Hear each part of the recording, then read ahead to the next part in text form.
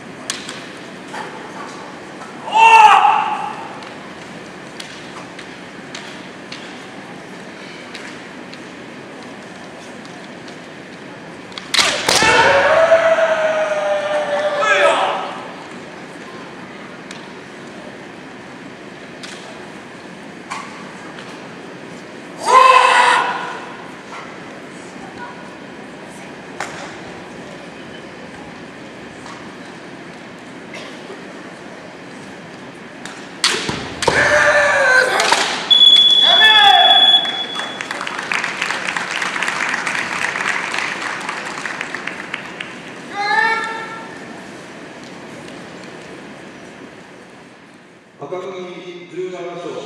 山田